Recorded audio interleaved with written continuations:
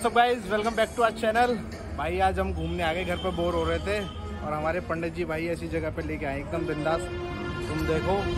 ये भाई कौन सी जगह पड़ेगा ये हमारा? भाई ये मुजफ्फरनगर से पास पड़ती है मिडवे है मुजफ्फरनगर और मेरठ के बीच में पड़ता है भाई ये। एकदम बेहतरीन जगह है यार दिखाता हूँ देखो।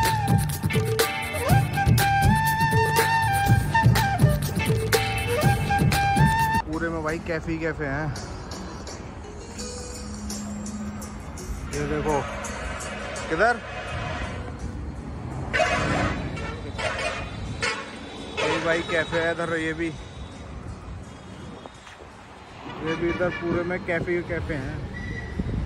ये तो ऐसा है जैसे मुड़थल में बनाया हुआ है हाँ। उसी की तरह है पूरा ये तो। हाँ? है, हाँ। ये देख इधर भी कैफ़े टाइप में नज़ारे नज़ारे हैं। ये हमारे पंडित जी फ़ोटो की तैयारी करते हुए लूँगा भाई लूँगा फ़ोटो भी लूँगा। अबे अंदर भी है कुछ इसमें?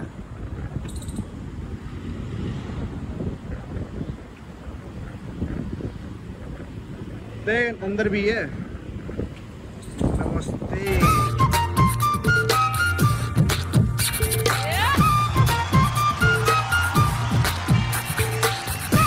रात में अपनी कसम, बड़ा मज़ा आता होगा। एकदम बेहतरीन जगह है। कुछ भी कर सकते हो भाई। ये देखो इधर भी बढ़िया। ये बैलगाड़ी बुलेट से लेके आएँगे थोड़ी देर में। भाई, इसके अंदर रूम मिलते हैं, जैसे किसी को रात में स्टे करना हो। इस साइड है स्टारबक्स और इस टाइप पे ये दूसरा कोई रिजॉर्ट है निवेदम करके है कोई।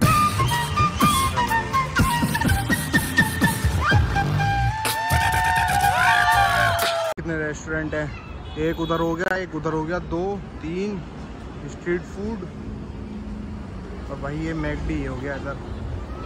मैकडोनल्ड और हल्दीराम उधर हो गया। और वाइट कप भाई पूरे में रेस्टोरेंट ही रेस्टोरेंट है कैफ़े टाइप रेस्टोरेंट अभी जा रहे हैं भाई अपना मैकडी में। देखते हैं कुछ खाने पीने की व्यवस्था।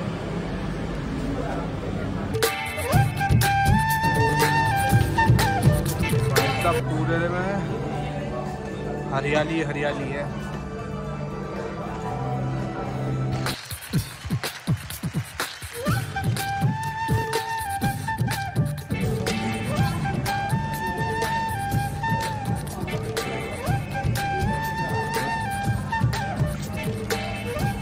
पंडित जी।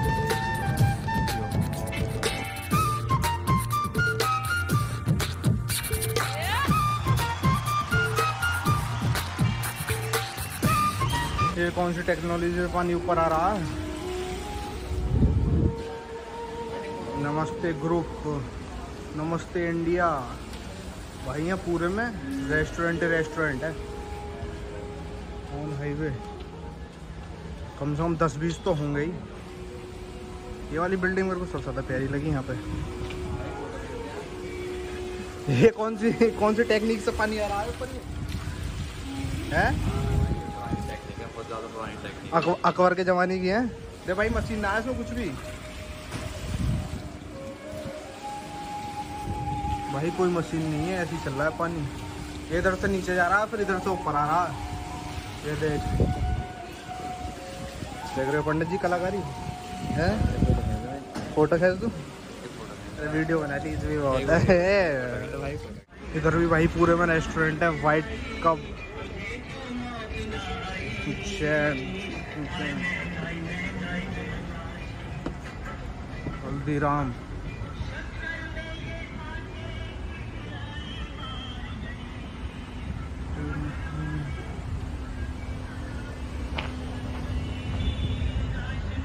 भाई, पूरे पे रेस्टोरेंट रेस्टोरेंट है। रात में काफ़ी अच्छा होता होगा ये। अभी तो हम रेंडमली ऐसे ही घूमने के लिए आ गए थे। ये देखो कितनी बढ़िया जगह यार भाई।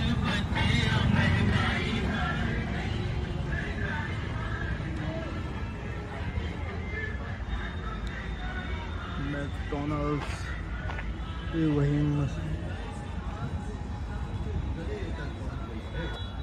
अभी तो हम रैंडमली ऐसे आ गए थे घूमने के लिए, लेकिन भाई जगह बहुत अच्छी है, एकदम तो एक नंबर जगह है यार। तो मोक्ष की प्राप्ति हुई, नहीं हुई? हो गई? परमात्मा की देखो यहाँ चाणक्य बाबा भी हैं। राजनीति में हिस्सा न लेने का सबसे बड़ा दंड यही है कि अयोग्य व्यक्ति आप पर शासन करने लगते हैं। देख रहे हो भाई साहब ये बहुत टॉप की चीज़ है चाणक्य बाबा ने ये देख ये क्या चीज़ रखी है? जूती वगैरह? ये चाणक्य बाबा की जूती है उनकी बेबी की जूती है ये। चढ़क के बाबा की जूती है? उनकी बीवी की जूती है। ये उनका लौंडा है। चंद्रगुप्त तैरना सीख रहा है। भाई चंद्रगुप्त मौर्य है। तैरना सीख रहा है। ये तैरते तैरते यहाँ तक आ गया। ये उनका महल है वहाँ पे अबे यहाँ कितने रेस्टोरेंट हैं? दो तो उसमें हो गए दो। उसमें बिल्डिंग है तीसरा ये हो गया मैगडी तीन। और इधर है भाई ये? ये तीन। और भाई तीन चार पाँच छ सात आठ और एक और है बीच में नौ इसके पीछे दस। दस? ये ग्यारह बारह। भाई कम से कम यहाँ पंद्रह पंद्रह सोलह रेस्टोरेंट है भाई। भाई मिड वे में पड़ता है बुलेंस तुम्हारा मेरठ और मुजफ्फरनगर के बीच में पड़ता है। कितने किलोमीटर होगा बुलंदशहर से? भाई बुलंदशहर से होगा ये सत्तर तो मेरठ हो गया हाँ। और उससे तीस किलोमीटर आएगा और मान लो मतलब सौ एक सौ दस के लगवा के अच्छा। सौ एक सौ दस का। सही है भाई। ये हमारी गाड़ी है ये हमारी बटन दबा के इसके अपना पे जो है हमारी गाड़ी है भाई और ये टेस्ला को फेल करेगी बस ये देखो खुल गई इतना ही करती हैं। टेस्ला फेल है भाई इसके आगे। सब फेल है तो चले भाई फिर अपने घर चले। हाँ घर चला जाए भाई। बहुत दिन से भाई बोर हो रहे थे घर पे तो पंडित जी बोले चलो तुम्हें घुमा के लाता हूँ। तो भाई ऐसे ही आ गए घूमते हुए। अगला टूर जल्दी बनाएँगे हम। पुराने पुराने गाने चल रहे हैं मस्त। अब अगले भाई बिल्कुल एकदम ऐसे है अगर कोई मुरथल गया होगा ना बिल्कुल उससे भी थोड़ा अच्छा ही है। उससे भी अच्छा ही है रात वहाँ रश नहीं है यहाँ रश नहीं हाँ। है। वहाँ रश ज़्यादा है यहाँ तो अगर मेरे को लगता है कि रात में अगर पब्लिक आएगी तो रात में ज़्यादा अच्छा लगेगा क्योंकि लाइटिंग वाइटिंग तगड़ी होगी। दिन में के दिन के हिसाब से भी बढ़िया ही है। वैसे कोई दिक्कत है नहीं यहाँ पे। और भाई जो बुलंदशहर से आना चाहते हैं आ सकते हो तुम लोगों के लिए पास ही पड़ेगा। क्योंकि बुलंदशहर में तो ऐसी जगह कोई है नहीं घूमने फिरने के लिए। तो भाई बाहर ही निकलना पड़ता है। तो उस हिसाब से तो बहुत एक नंबर जगह है भाई। भाई एक्सप्लेन नहीं कर सकता। कैमरा पता नहीं कैसा दिखा रहे हैं दिखा रहा, लेकिन आँखों से देखोगे ना भाई, नज़ारे हैं फुल एकदम। ये हल्दीराम है। तो चले पंडित जी फिर अब। घूम लिए। और भैया, मैगडी में गए, दो बंदों का सात सौ रुपये का बिल आया। अब ऐसे में 760 का आया था सात सौ साठ का। और हम हम हम बुलंदशहर में ढाबे ढूबे खा लेते हैं ऐसे में जो है सचिन ढाबे की बहुत याद आती है। बुलंदशहर में भाई तीन सौ रुपये में अपना दो आदमी हज़ार रुपये में अपना पूरा घर खा सकता है। या सात सौ रुपये में चलते हैं भाई अपना बुलंदशहर। घूम लिए जितना घूमना था। और लास्ट दर्शन कर लो भाई। रहा चलें भाई।